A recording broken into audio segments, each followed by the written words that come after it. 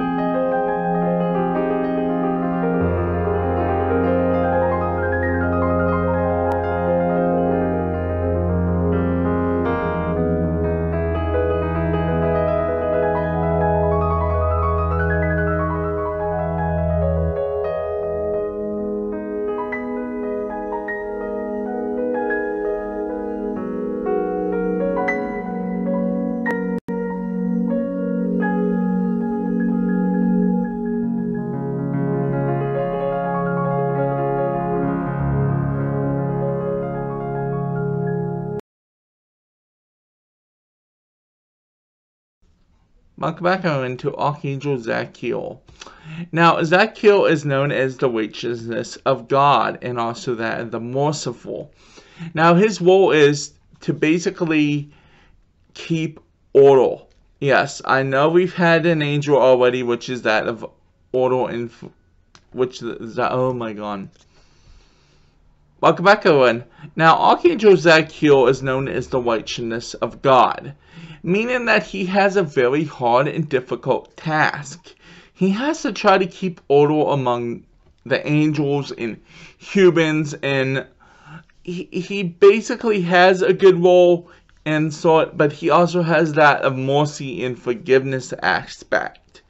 So with him there is no dark or light. There's kind of like he's got to keep that straight balance between the two. Um, he's also very good with that of absent memory. So, especially with Alzheimer's patients, I would definitely use him a lot, pray to him for memory. But also, you could use him as if you did something wrong, you know, pray to him for mercy for what you have done. Anyhow, this has been it for Archangel Zadkiel. I hope you enjoyed the presentations of the angels and I hope you like this presentation. And remember, no one person knows it all. God is bless.